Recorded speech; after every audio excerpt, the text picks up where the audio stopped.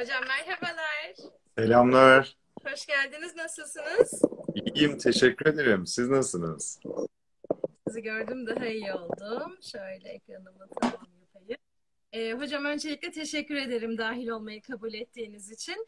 Ee, Ben ve müsaadeniz olursa bugün bu vakitte izleyemeyen katılamayanlar için yayını kayıt altına almak ve YouTube'da, Instagram'da paylaşmak isterim.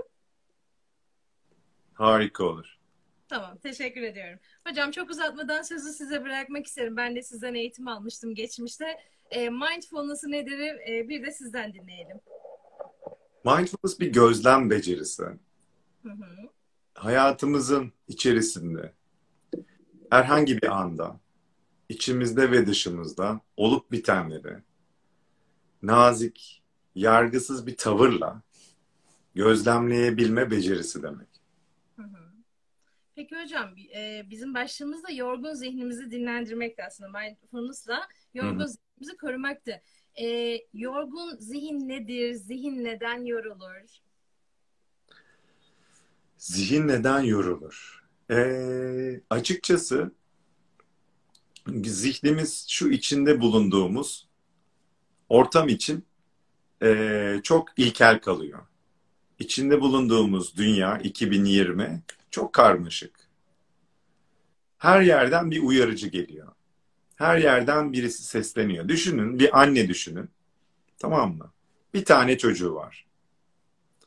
Çocuğu diyor ki anne bana yemek yapar mısın? O da diyor ki yaparım. Şimdi bu eski vaziyetimiz. O annenin bir de 10 tane çocuğu olsun. Biri yemek yapar mısın diyor, öbürü ben resim yapıyorum baksana diyor, öbürü duvarı çiziyor, öbürü kendini ele, elini parmağını fişe sokuyor. Bir de böyle bir ortam düşünün. Sabahtan akşama 10 çocukla uğraşan insan yorulur ya.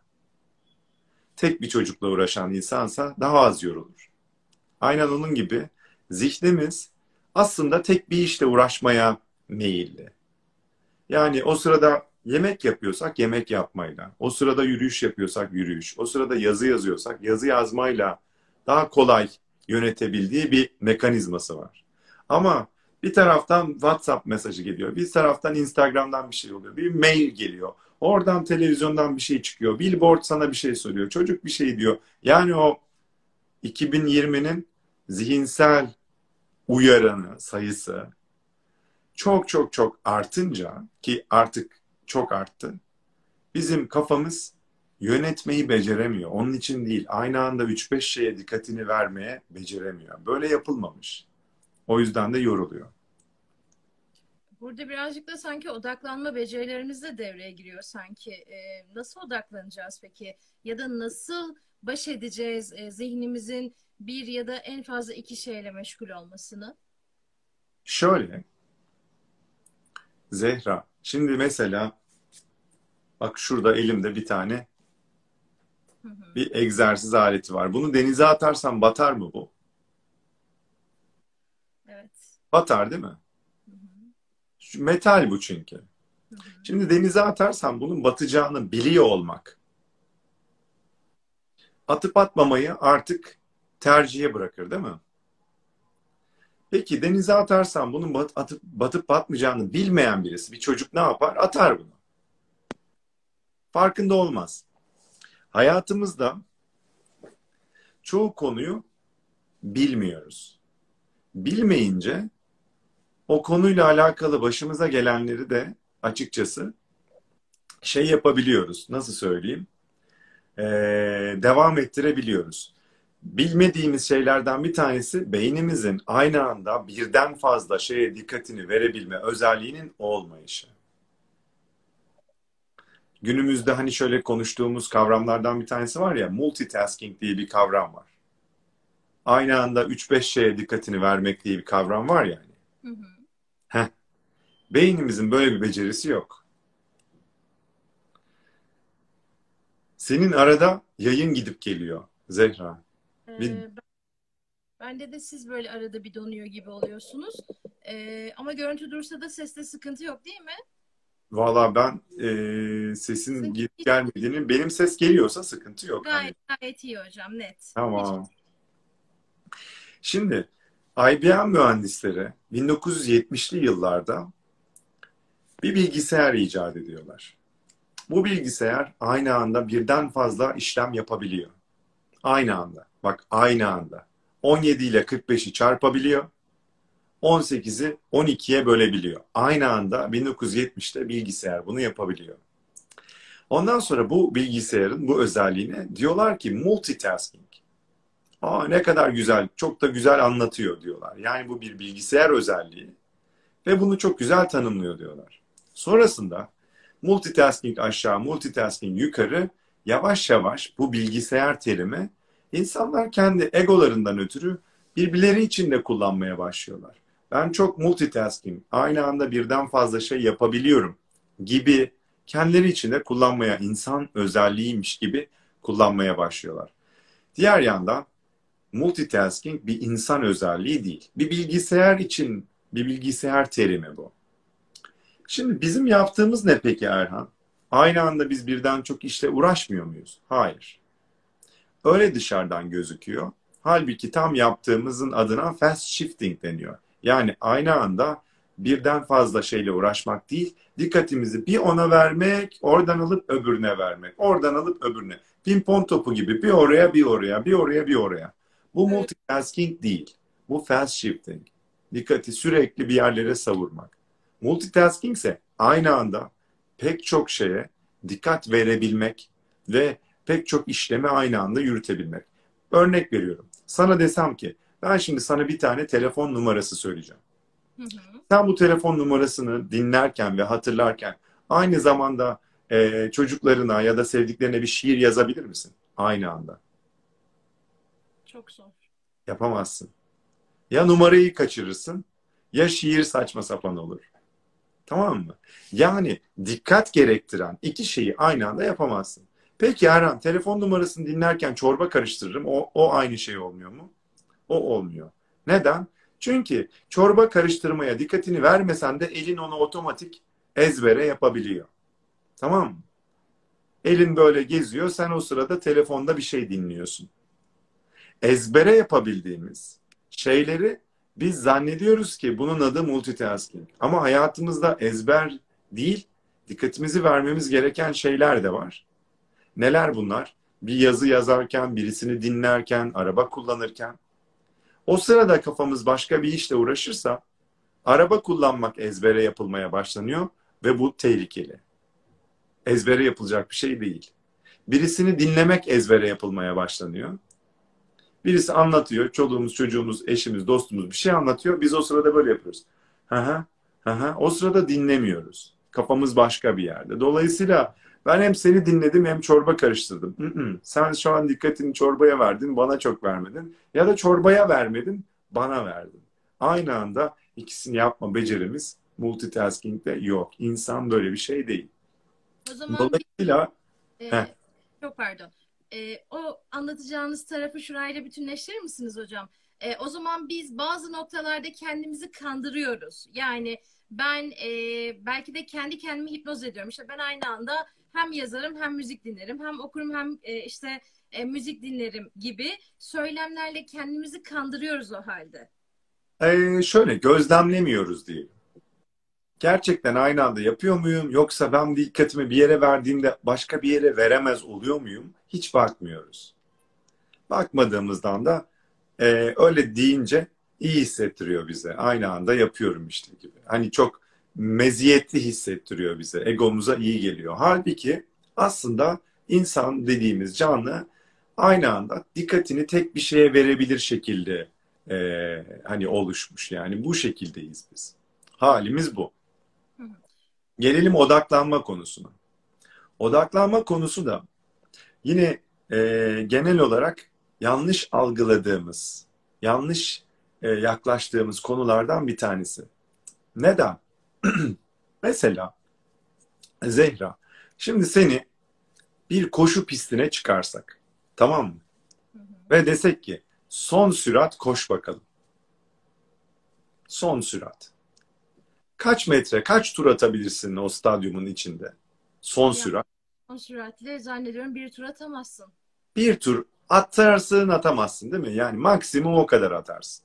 Zaten sporcular da hani koşucu insanda son sürat orada bir tur atamıyor. 100 metre koşabiliyor son süratle. Sonun birazcık daha yumuşağı daha uzuyor. Birazcık daha yumuşağı daha uzuyor. Yani işi ömrü hayatı boyunca koşmuş insan bile son süratiyle deparla en fazla 100 metre koşabiliyor. Tamam mı? O yüzden o 100 metreyi hızlı koşuyor. Biz 400 metre yapıldığında o 400 metreyi 100 metre koştuğu hızda koşamıyor. Yavaşlaması gerekiyor mesafe uzadıkça. Odaklanmak konusunu biz bu anlamda yanlış anlıyoruz. Dikkatimizle bir yere tamam mı? Bütün dikkatimizi vermek, tüm gücümüzle bir yere odaklanmak yani depar atmak gibi bütün dikkatimizi vermek sürdürülebilir bir şey değil. Uzun süren bir şey değil. Yani sen örnek veriyorum buradan karşı tarafta bir yere ateş edeceksin. Bütün dikkatini verirsin. Ateşi yaparsın. Tamam mı? Orada bir anlıktır dikkat. Bütün dikkati vermek. Ama sen bütün gün bütün dikkatini verip sürekli ateş edemezsin. O kadar dikkat olmaz. Sen bütün gün son hız koşamazsın. Öyle bir güç yok. 10 saniye son hız koşarsın. Sonra ne olur? Bitersin. Odaklanmayı biz bütün dikkatimizi sürekli verebilmek olarak algılıyoruz. Halbuki odaklanmak adı üstünde fokus. Bütün dikkatimizi belli bir süre, kısa bir süre bir yere vermek için tasarlanmış bir yaklaşım. Peki Erhan biz uzun süre, uzun zaman gerektiren mesela bir sınav, bir sınav ya da yaptığımız başka bir çalışma, uzun süre e, dikkatimizi gerektiren işlerde ne yapacağız? Evet. Tıpkı tıpkı maraton koşmak gibi. Yani kişi 100 metre değil de maratonu nasıl koşacak? Bir, maratonu koşmak için depar bırakacak. Kendini zorlamayı bırakacak. Kendini zorlayarak koşan maraton koşabilir mi? Koşamaz. Hafif hafif koşarsa koşabilir. Değil mi? Tın tın tın tın tın bacağını, kolunu, nefesini zorlamazsa 5 saat koşabilir. Ama bunları zorlarsa 5 saat dayanamaz. Dikkatini zorlarsa kişi uzun süre dikkatini tutamaz. Dikkatini zorlamazsa, nazik nazik dikkatini verirse, dikkati dağıldığında, kendini zorlamazsa, tekrar nazikçe getirdiğinde, tekrar gittiğinde, tekrar getirdiğinde tamam mı? Bunu yapabilir. Yani uzun süre dikkat verebilir. Dikkati uzun süre verebilmek için yani maratonu uzun süre koşabilmek için bir başka ihtiyaç daha var. O maraton koşucusunun aç olmaması lazım. Yorgun olmaması lazım. Halsiz olmaması lazım değil mi? O zaman yine koşamaz. Dolayısıyla dikkatimiz bizim fiziksel kondisyonumuzla çok ilgili. Bir öğrenci ya da başka bir insan odaklanma sorunu yaşıyorum diye söyleyebilir. Hemen şuna bakıp bakmamız iyi olabilir. Kondisyonu nasıl? Fiziksel egzersiz yapıyor mu? Güçlü mü bu insan? Bir, uyku uyumuş mu? İki, aç mı, tok mu? Üç, hissiyat olarak enerjisi nasıl? Dört, bunlara bakıp eğer bunlarda eksiklik varsa odaklanma problemi değil, o kişinin uykusunu düzeltmek, fiziksel kondisyonunu yükseltmek, açlığına, tokluğuna, kan şekerine bakmak gibi gibi şeylerle o insanın daha uzun süre koşabilmesi, daha uzun süre dikkatini verebilmesi için ön koşulları sağlamamız lazım. Dolayısıyla aslında odaklanma problemi dediğimiz ya da dikkatini verememe dediğimiz şey bir sonuç. Bunun sebeplerini biraz anlatmaya çalıştım. Böyle yani. Peki hocam aynı anda birden fazla şeye odaklandığımızda neleri kaçırıyoruz? Odaklanamıyoruz zaten. Aynı anda sadece bir yere dikkatimizi verebiliyoruz. Hı hı. Diğerlerinde başarısız oluyoruz aslında ama belki o anda mı fark etmiyoruz bunun olumsuz etkisini ya da başarısız sonuçlarını?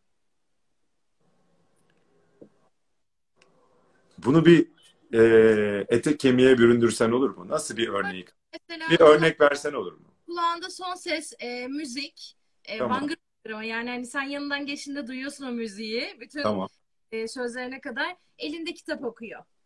Tamam. e, yoğun da yoğunlaşmış da görünüyor aslında. E, orada az önce anlattığınız gibi müziği mi tamamen e, duymuyor, unutuyor, kitaba odaklanıyor. E, anlattığınızla birlikte ikisine birlikte e, yarım yarım dikkat verebilmesi de mümkün değil. İkisinden birini kaçırıyor ama o kitabı okuduğunu e, okusa ve anlamasa elinde tutmaz zannediyorum. Ya da o kadar yoğun görünmez kişi. Bu noktada çok fazla gözlemim oldu. Pandemi öncesinde özellikle toplu taşımalarda e, Ankara'da işte kulakta son ses müzik ama yani çok da yoğun kitap okuyor. E, bu nasıl oluyor? Böyle oluyor.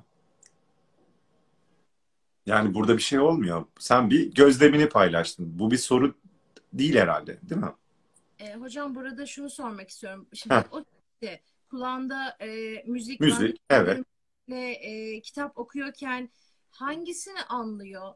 İkisini birden anlama şansı yok o zaman. Ya da ikisine birden dikkatini verme şansı yok o halde. İkisine aynı anda dikkatini vermiyor zaten. Böyle bir becerimiz yok.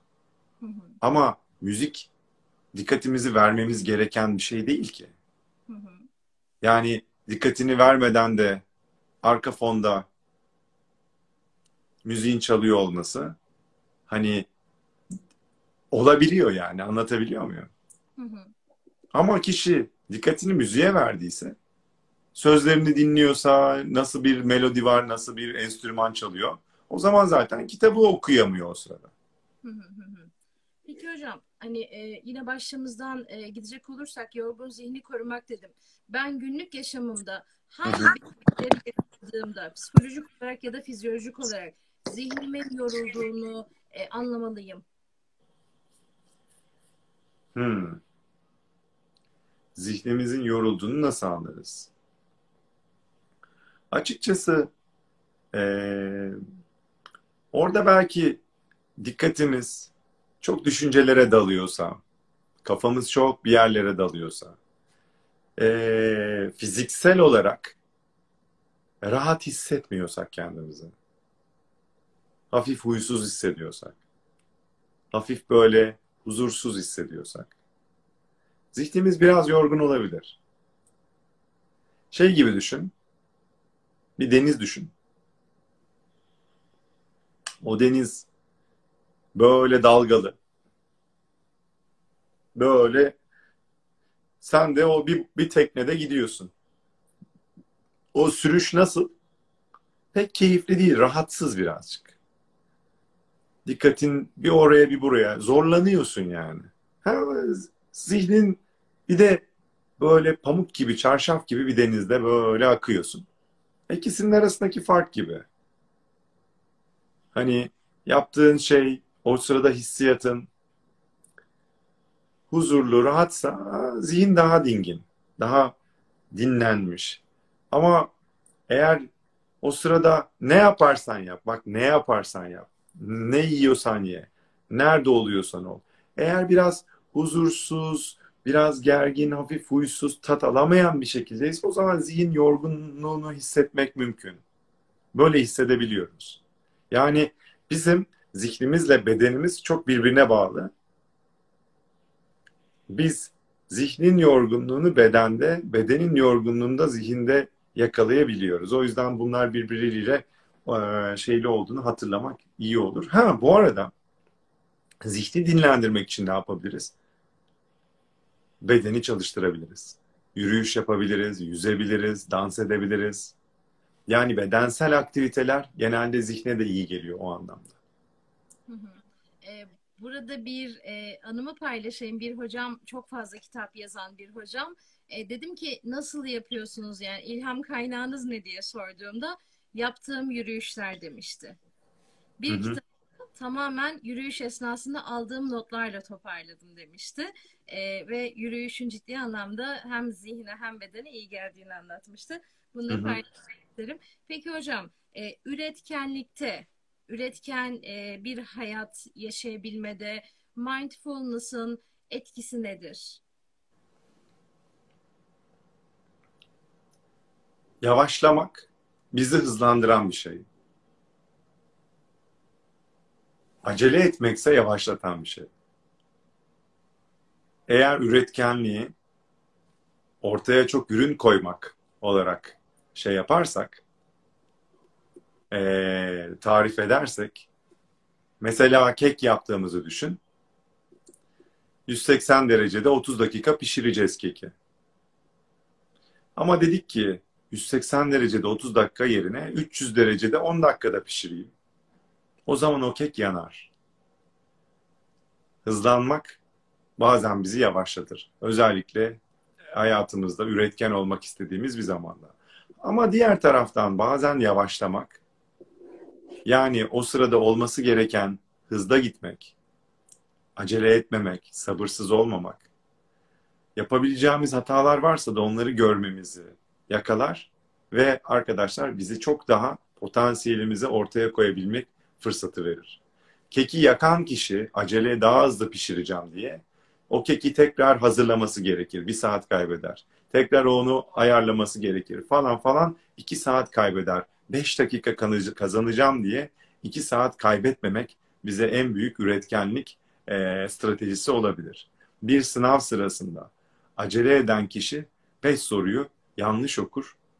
O beş soruda belki altı ay boyunca öğrendiği altı tane konunun beş tane konunun bilgisi uçup gider yanlış okudu diye.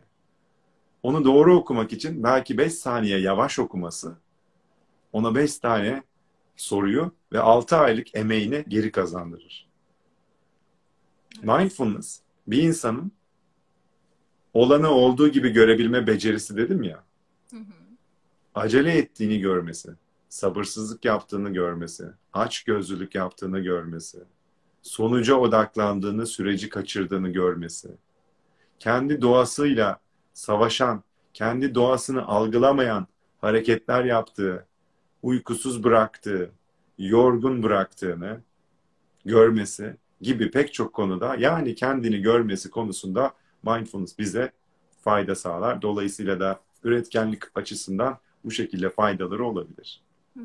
Ben aynı soruyu liderlik ve başarı için de sormak isterim. Yani bu iki konuda neler dersiniz? liderlik konusu nasıl tarif ettiğimizle de çok ilgili. Eğer liderlik insanları arkasından sürükleyebilmek, önderlik edebilmekse bu bir yöntem. Bir başka yöntemse insanları ittirmek, onları bir tarafa doğru zorlamaksa bu başka bir yöntem. Bazen biz liderlik adı altında insanları bir tarafa doğru zorluyoruz, ittiriyoruz, kaktırıyoruz. Bunu bir öğretmen yapabiliyor. Çocukları zorluyor. Bunu bir iş yerindeki insan yapabiliyor. Çalışanlarını zorluyor. Ve ondan sonra da diyor ki ben liderlik yapıyorum. Hayır, liderlik insanları bir tarafa doğru ittirmek değil. Kendisi o tarafa doğru koşmak ve arkasından gelen insanlara o tarafa doğru koşma konusunda ilham vermek, heyecan vermek. Bir tarafa doğru koşmak ya da bir tarafa ittirmek birbirine çok benziyor. Çünkü bir taraf var orada. Bir hedef var. Ve insanın mindfulness'ta bu konuda nasıl bir şey yapabilir? Birincisi önce ne yaptığını fark eder. Ben insanları ittiriyor muyum? Yoksa ben insanları çekiyor muyum? Bunu fark ettirir. İki, mindfulness'ın tanımına tekrar gelelim. Olanı olduğu gibi görebilme ve bunu nazikçe yapabilme dedik ya. Hı hı. Liderliğin, liderliğin ee, bir başka içerik olarak ihtiyacı nazik olmak. Nazik olmayan kişiye lider demiyoruz. Diktatör diyoruz ona. Kaba davranan insana lider demiyoruz. Zorba diyoruz. Dolayısıyla da bizim liderlik yapabilmemiz için temel ihtiyaçlarımızdan bir tanesi davranışlarımızın ne olduğu değil, o davranışları nasıl bir halle, nasıl bir insan olarak bunları yaptığımız, o olduğumuz insanın nazik olup olmaması mindfulness'tan tamam mı beslenip beslenmemizde çok ilgili. Ben günlük hayatımda su içerken, yürüyüş yaparken, tamam mı uyku uyurken kendime nazik davranabiliyorsam bir farkındalıkla ben şu an nasılım, yorgun muyum, aç mıyım, nasılım? Bunu kendime nazik davranabiliyorsam bu en temel, en alttaki nokta kendime nazik davranabiliyorsam o zaman başkasına da nazik davranabilme becerim olacak. Önce kendime. Ve bu farkındalık Ben şu an ne yapıyorum? Şu anda neler oluyor sorusuyla geliyor. Bu da mindfulness'ın ilk sorusu. Şu anda neler oluyor? Ben şu an ne yapıyorum? Bunu bilen insan mindfulness'a ilk adımı atmış oluyor. Ee, bizlere günlük yaşamımızda uygulayabileceğimiz küçük mindfulness e, örnekleri verebilir misiniz? Egzersiz örnekleri. Biraz evvel söylediğim soruyu uygulayabiliriz. Yani şu anda neler oluyor? Şu anda ne yapıyorum? Bu soruyu sorsun kişi ve baksın. Şu anda ben keki 300 derecede mi ısıtıyorum? Şu anda ben aç acına 5 saattir kendimi mi zorluyorum? Şu anda ben kendimi onda yatacakken 1'e kadar sosyal medya içinde mi gezdiriyorum? Şu anda ne oluyor? Bu sorunun cevabını her an dürüstçe kendilerine vermek en büyük mindfulness pratiği. Şu anda ne oluyor? Dürüstçe gerçekten şey yapmadan, kızmadan etmeden, yalan söylemeden şu anda ne yapıyorum? Şu anda ben dikkatimi beş şeye vermeye mi çalışıyorum? Yapamadığım halde. Şu anda ben araba kullanırken kendimi ve insanları tehlikeye mi atıyorum kafamın başka bir yerde olarak? Şu anda ne oluyor? Şu anda ben sabırsız mı davranıyorum? Acele mi ediyorum? Şu anda ben bir olayın sürecine değil de sonucuna odaklanıp süreci kalitesiz mi yapıyorum? Şu anda ne yapıyorum? Ne oluyor? Bu soru bütün mindfulness pratiğini özetliyor. Temeli bu. Temeli bu. Ve bu soruya dürüst cevap vermek. Kendini kandırmadan cevap vermek. Bir insanla konuşuyorsun. Şu anda ne oluyor? Baktın, bir baktın, dinlemiyorsun onu. Aklına ona vereceğin cevapla uğraşıyorsun. De ki şu anda ben bu insanı dinlermiş gibi yapıp dinlemiyorum. Ona vereceğim cevaba bakıyorum. O zaman ben ne yapayım? Ondan sonra da seçim başlıyor. Bunu yapmaya devam mı edeyim?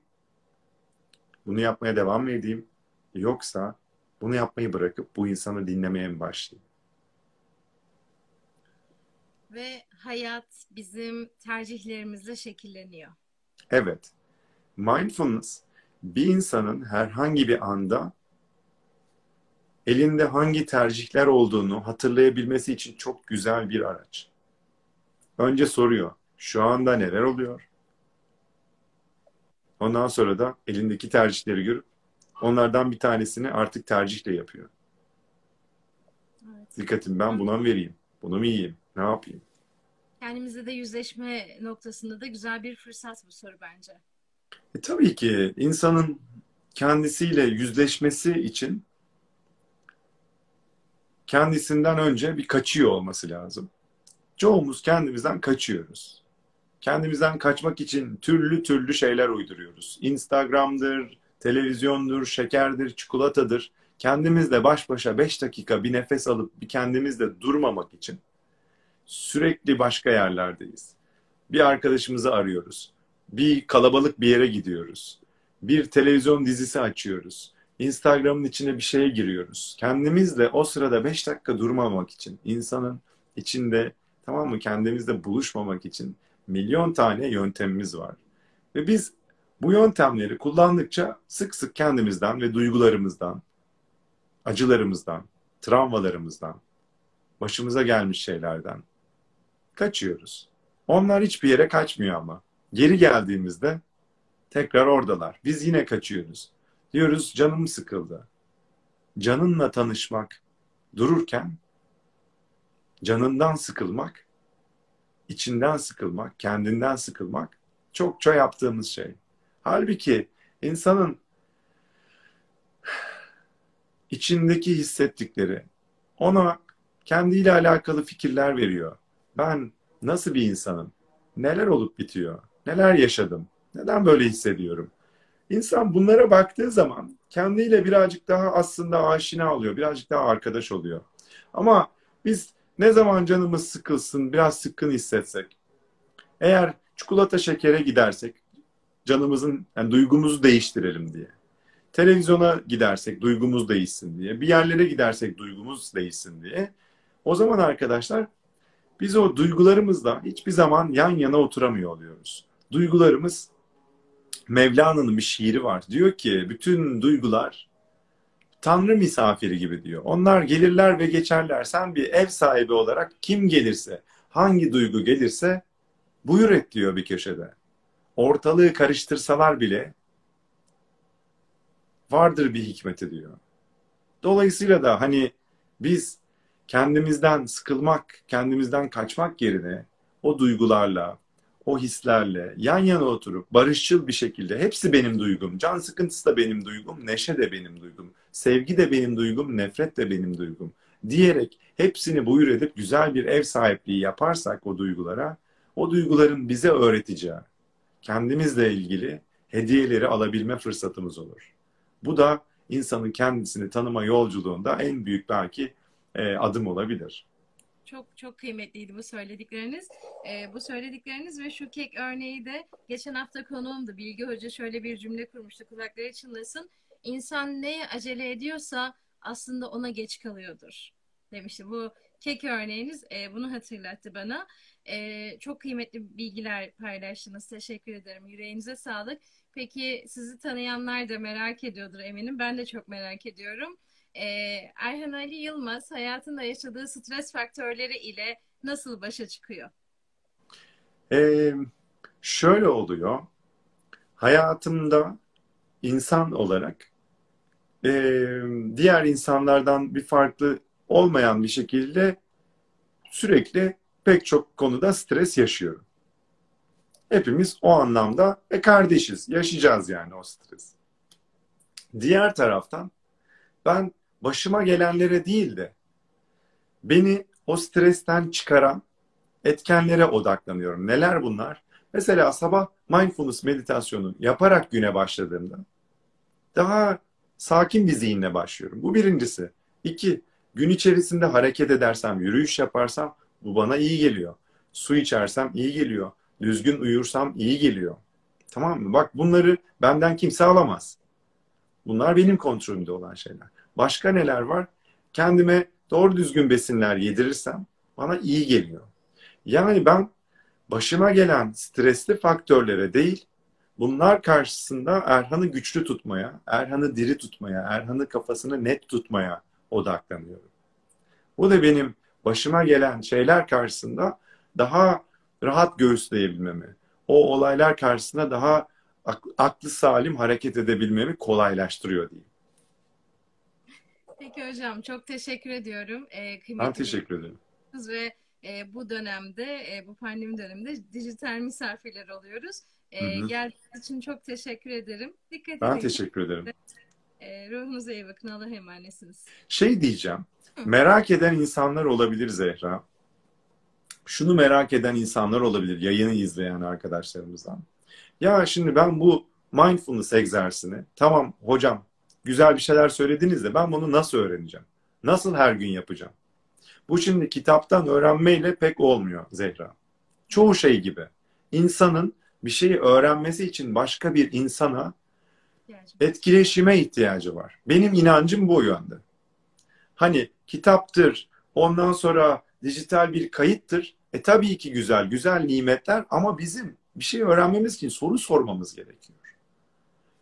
Peki bu nasıl? Şu nasıl? Sen şimdi mesela bana bir soru soruyorsun, ben bir cevap veriyorum, onun üstüne başka bir soru soruyorsun ya.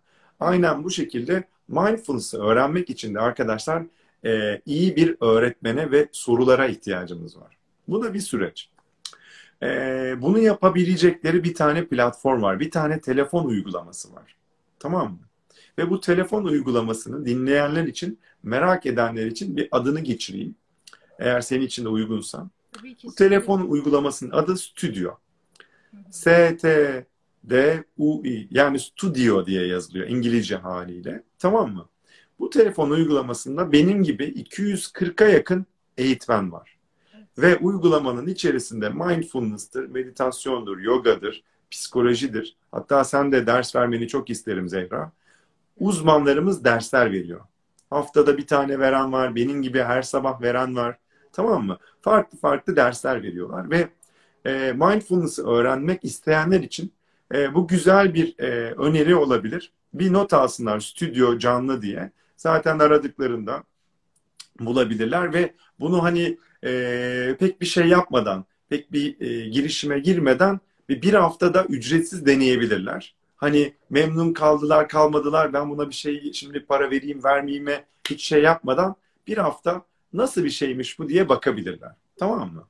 Tamam. Bu arada senin stüdyoda ders vermenle ilgili de şeyin üstüne bir konuşalım.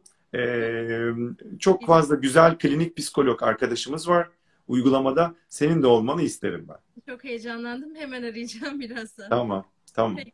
Çok teşekkür ediyorum. Ben teşekkür ederim. Dinleyenlere ve dinleyecek olanlara umarım güzel izler bırakmak nasip olmuştur. Emeklerinize ve yüreğinize sağlık. Sizden eğitim de almış biri olarak e, hayatımdaki dokunuşlarınız çok özel.